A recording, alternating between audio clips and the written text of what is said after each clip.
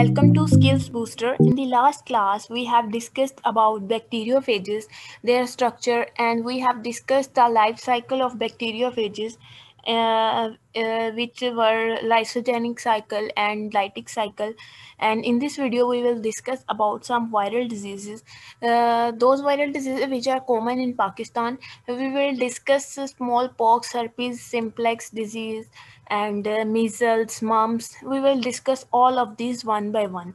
First of all, smallpox. What is smallpox? Smallpox is caused by pox virus. Pox virus, which is DNA enveloped virus. Smallpox जो है हमारे पास, ये वो disease है जो कि पॉक्स वायरस की वजह से होती है। पॉक्स वायरस जो है वो डीएनए इन्वेल्प्ड वायरस है। और ट्वेल्थ सेंचुरी में जो है ये डिज़ीज़ जो है, ये एपिडेमिक की फॉर्म में चाइना में नज़र आई। और इसकी वजह से बहुत सारे लोग जो हैं, वो मौत का शिकार हुए। और twelfth century early twelfth century तक smallpox was common disease throughout the world और ट्वेल्थ सेंचुरी तक ये हुआ कि स्मॉल पॉक्स जो थी थी, वो थ्रू आउट द वर्ल्ड जो है वो फैल गई। और इसके फैलने की वजह से क्या हुआ कि डेथ रेट बहुत ज़्यादा बढ़ गया। अब हम देखते हैं कि इस डिज़ीज़ में होता क्या है। ये जो है, ये पॉक्स वायरस की वजह से होती है, जो कि डी एन इन्वेल्प्ड वायरस है। अब हम देखेंगे कि बॉडी में क्या चेंजेस आते हैं इस डिज़ीज़ की वजह से। इसमें क्या होता है कि हमारी जो स्किन होती है, उस पर फ्लूड फिल्ड वेसिकल्स फॉर्म होते हैं फॉर्म्ड होते हैं। फ्लूड फिल्ड वेसिकल्स बनते हैं, यानी पानी से भरे हुए जो होते हैं, उनको कहते हैं अब छाले बनते हैं which becomes pustule later on and form pitted scars जो कि लेटर ऑन जो है, वो पिटेड स्कार्स बना लेते हैं, जिसको पॉक्स बोलते हैं। और 1950 immunization and other control measure has largely decreased the danger. अब 1950 तक जो है जो कंट्रोल मेयर्स लिए गए या फिर इम्यूनाइजेशन की गई, उसकी वजह से इस बीमारी का जो ख़तरा था वो बहुत हद तक कम हो गया। लेकिन थर्ड वर्ल्ड कंट्रीज़ में अभी तक भी ये प्रेजेंट थी। और 1980 में वर्ल्ड हेल्थ ऑर्गेनाइजेशन ने ये ये जो है डिक्लेयर कर दिया कि स्मॉल पॉक्स जो है इसको पूरी दुनिया से ये ख़त्म हो चुकी है। देन है हमारे पास हर्पीज सिंप्लेक्स हर्पीज सिंप्लेक्स जो है ये एक, ये भी वायरल डिज़ीज़ है, जो कि हमारे पास हर्पीज वायरस जो है वो एक डीएनए वायरस है, जो कि रिस्पॉन्सिबल है for herpes simplex it is naturally occurring disease of mankind ये डिज़ीज़ जो है ये नेचुरली अक्रिंग होती है। इसमें क्या होता है कि हमारी जो स्किन uh, है उसकी जो एपिथेलियल लेयर्स होती हैं उसके एक्टोडर्मल टिश्यूज़ में जो है वो वेस्कुलर लीजन्स बनते हैं। वेस्कुलर लीजन्स बनते हैं जिसकी वजह से क्या होता है कि एपिथेलियल लेयर जो है उसमें लीजन्स बन जाते हैं और ये डिज़ीज़ जो है हमारे पास ये माउथ में या फिर लिप्स पे और अदर स्किन साइड्स पे, उस स्किन साइड पे होती है जहाँ पर एपिथेलियल लेयर में वेस्कुलर लीजन्स बन जाते हैं, उसको हम हर्पिल सिम्प्लेक्स बोलते हैं। देन है हमारे पास इन्फ्लुएंज़ा इन्फ्लुएंज़ा वायरस की बात की जाए तो ये इन्वेल्प्ड आरएनए वायरस है। अब एम डी कैट में एम कैसे आता है? ये एम आता है कि जो इन्फ्लुएंज़ा वायरस है, वो हमारे पास कौन सा वायरस है? इन्वेल्प्ड आर है नेक्ड आर एन ए है इन्वेल्प्ड डी है, इस तरह करके आता है। तो हम उसमें कौन सा टिक करेंगे? हम देखेंगे कि जो इन्वेल्प्ड आर वायरस है, वो इन्फ्लुएंज़ा वायरस है। ये जो है influenza is wide spread disease in man and occur in epidemic form influenza जो है, ये वाइड स्प्रेड डिज़ीज़ है ह्यूमंस में और ये हमेशा एपिडेमिक की फॉर्म में होती है। देन है हमारे पास मीज़ल्स एंड मम्प्स मीज़ल्स जो है, खसरे को बोलते हैं और मम्प्स जो हैं, वो बड़ा सारा हो जाता है इधर से तो उसको मम्स बोलते हैं। Mumps and measles viruses belongs to group paramyxoviruses अब जो हमारे पास पैरामिक्जो वायरसेस हैं वो जो हैं, वो वजह होते हैं मम्स और मीज़ल्स की। पैरामिक्सो वायरसेस जो हैं, ये इन्वेल्प्ड आरएनए वायरस होते हैं, जो कि जिसका आरएनए जो है, वो इन्वेल्प्ड होता है, यानी रैप्ड होता है इनसाइड एंड इन्वेल्प अब जो है मम्स जो है, ये हाईली कंटेजियस डिज़ीज़ है, यानी एक दूसरे को टच करने से लगती है। वाइड स्प्रेड है बट सेल्डम फटाल यानी इसका जो है, ख़तरनाक बहुत कम होती है। लेकिन हाईली स्प्रेड हो, जाती है वाइडली स्प्रेड हो जाती है हाईली कंटेजियस होती है और जो हमारे पास सिक्सटी परसेंट एडल्ट होते हैं वो इससे अम्यून होते हैं यानी सिक्सटी परसेंट एडल्ट जो हैं उनमें इसके खिलाफ अम्यूनिटी होती है। यानी वो इस डिज़ीज़ को अगर हो तो उसको रजिस्ट कर सकते हैं, उनको होगी ही नहीं। Measles is one of the commonest disease of the childhood and adult human population is equally susceptible the world over अब जो मीज़ल्स है, इसको खसरा भी बोलते हैं, बहुत सारे बच्चों को हो जाता है। ये बहुत कॉमन सी डिज़ीज़ है, यानी बच्चों और चाइल्डहुड में भी या फिर एडल्ट में भी ये इक्वली जो है वो इसको इनकाउंटर कर इनकाउंटर दोनों को इक्वली इनकाउंटर करना पड़ता है। दोनों को ही ये बीमारी हो सकती है। इस बीमारी से क्या होता है कि अगर एक बार ये बीमारी हो जाए तो बंदा, बंदे में जो है वो इम्यूनिटी डेवलप हो जाती है तो नेक्स्ट टाइम जो है वो ये बीमारी बिल्कुल नहीं होगी। ये जो है बॉडी में इम्यूनिटी बॉडी को इम्यूनिटी प्रोवाइड इम्यूनिटी जो है वो बॉडी विक्टम को जो है इम्यूनिटी मिल जाती है डेवलप कर जाती है उसमें। देन है हमारे पास पोलियो पोलियो जो है पोलियोमलाइटिस भी जिसको बोलते हैं, ये पोलियो वायरस की वजह से होती है। इसमें क्या होता है कि बच्चों के जो है हाथ पाँव टेढ़े हो जाते हैं, माजूर हो जाते हैं बच्चे।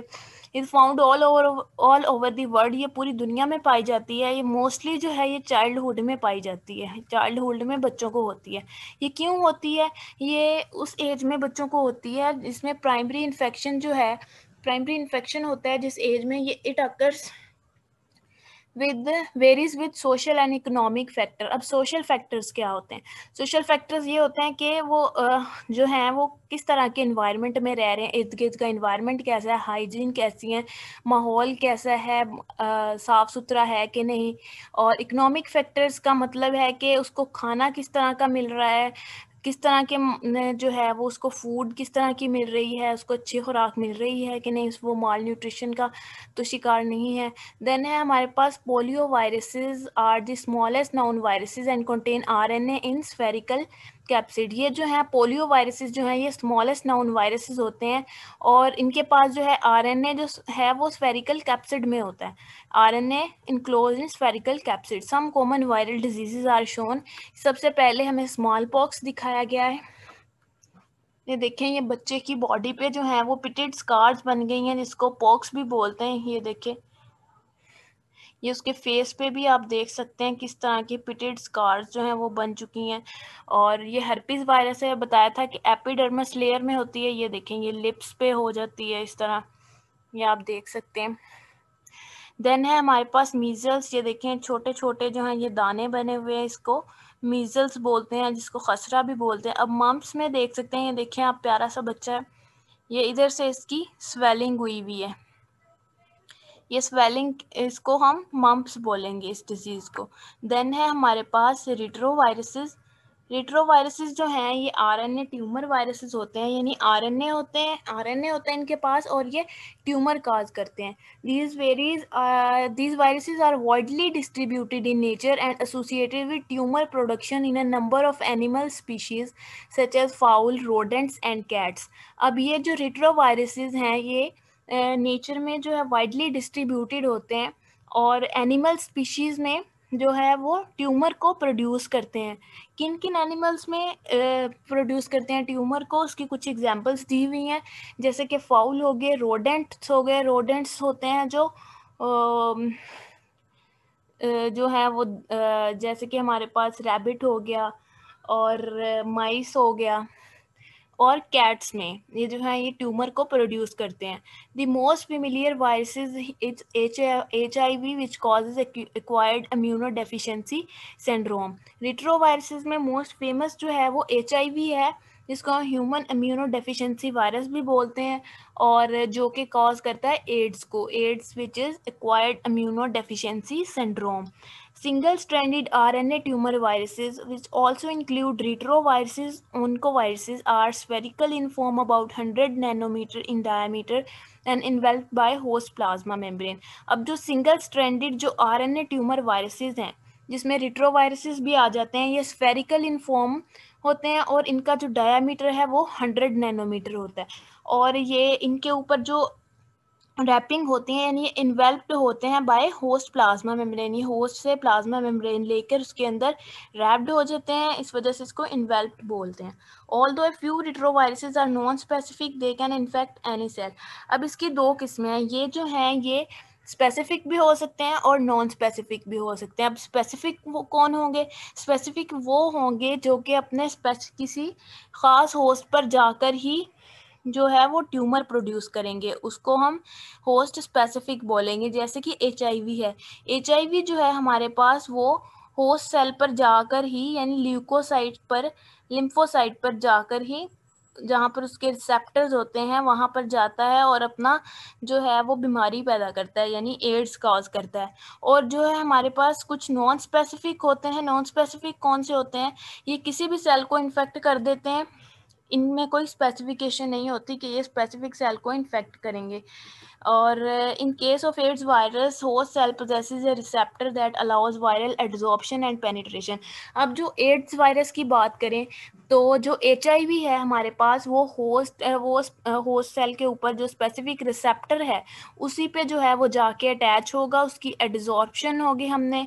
बैक्टीरियोफेजिस में देखा था कि वायरस जो है वो किस तरह अपना काम करता है, सबसे पहले एड्जॉर्प्शन होती है, फिर पेनिट्रेशन होती है और फिर देन उसके फर्दर स्टेप्स होते हैं। और इसके लिए हमें स्पेसिफिक रिसेप्टर चाहिए होता है। अब हम वाइट ब्लड सेल्स यानी ल्यूकोसाइट को ले लें। अगर उस पर रिसेप्टर नहीं होगा स्पेसिफिक रिसेप्टर जिसको सी डी फोर रिसेप्टर बोलते हैं वो नहीं होगा तो एच आई वी जो है वो बिल्कुल उसके साथ अटैच नहीं होगा। उसके ऊपर स्पेसिफिक रिसेप्टर जिसको सी डी फोर रिसेप्टर बोलते हैं वो होना ज़रूरी है, जो कि इस वायरस को अटैच करने में मदद करेगा। अब जो है रिट्रोवायरसेस जो हैं, उनके पास रिवर्स ट्रांसक्रिप्टेज होता है। हमने ट्रांसक्रिप्टेज पढ़ा था इंजाइम ट्रांसक्रिप्टेज इंजाइम कौन सा होता है? जो कि आरएनए से डीएनए बनाता है। अब ये रिवर्स ट्रांसक्रिप्टेज है, जो कि रिट्रोवायरसेस में पाया जाता है। सो ये क्या करेगा कि जो डीएनए है, उससे हमारे पास RNA which can convert single stranded RNA genome into double stranded DNA sorry मेरे से शायद गलत बोल हो गया कि जो ट्रांसक्रिप्टेज है वो RNA से डीएन जो है डीएनए से आरएनए बनाता है और जो रिवर्स ट्रांसक्रिप्टेज है, वो हमारे पास आरएनए से डबल स्ट्रेंडेड वायरल डीएनए बनाएगा, ठीक है? Not only DNA can infect the host but it can also incorporate into the host genome अब जो है डीएनए वो जो हमने ये, जो बना है सेल में, वो इन्फेक्ट वो होस्ट सेल को सिर्फ़ इन्फेक्ट नहीं करेगा। सम केसेस में इस तरह भी होगा कि जैसे हमने लाइसोजेनिक साइकिल में देखा था कि जो आरएनए जो डीएनए है वो होस्ट के डीएनए के साथ इनकॉपरेट हो जाता है और देन फर्दर वो जनरेशन टू जनरेशन आगे से आगे वो फैलता जाता है। इसको हम प्रो वायरस बोलेंगे कि वो होस्ट जिनोम के साथ जाकर अटैच हो जाता है और pass to pass on to the progeny cell in this way some of the retrovirus convert normal cell into cancer cell इस तरह जो है, कुछ रिट्रोवायरस नॉर्मल सेल्स को कैंसर सेल में कन्वर्ट कर सकते हैं। So that's all for today if you have any question you can comment below thank you Allah hafiz.